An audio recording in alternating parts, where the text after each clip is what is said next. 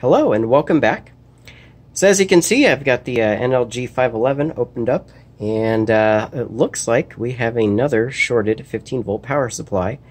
Um, I think a few months ago I worked on one that had the same exact problem, and this is exactly how I fixed it.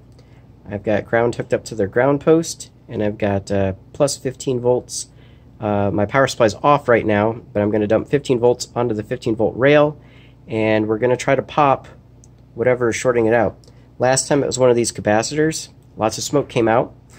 I didn't get it on camera. So this time, you're on the tripod. We're going to see if we can get it on camera. And uh, I'm going to go ahead and plug it in and then turn on supply. I'm going to start off really low current and then slowly turn it up. But we'll see if any magic smoke comes out. So there you go, plugging it in. Giving it a little bit of current. So we're pulling, we're dropped down to 1.4 volts. And I'm going to start turning up the current a little bit here. So we're now pulling an amp. So I think something's supposed to be getting, probably getting pretty warm right now. Still not saying anything. I'm going to turn it up a little bit harder.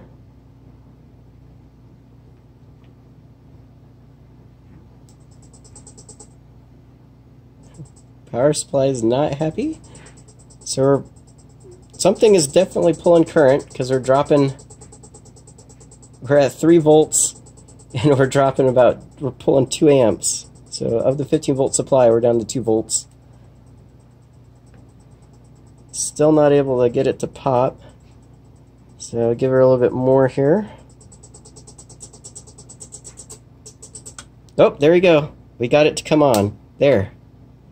Ah, it's this this guy's the dead this guy's causing the problem. Okay, we now have 15 volts. Yep, okay, we're gonna shut her down. We got magic smoke.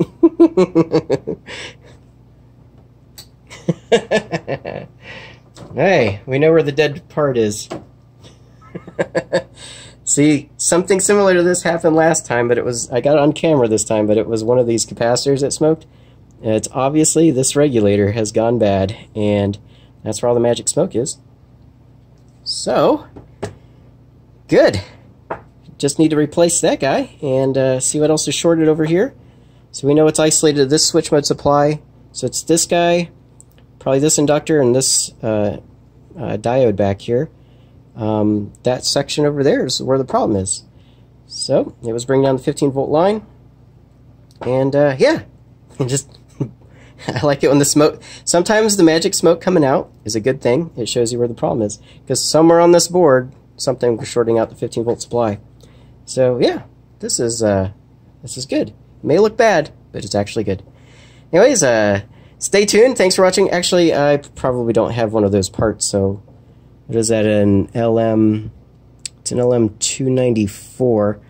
So, um, I don't have one of those probably floating around, so I'm probably going to have to order some parts, so it might be a little bit till there's next video. But anyways, uh, thanks for watching. Bye.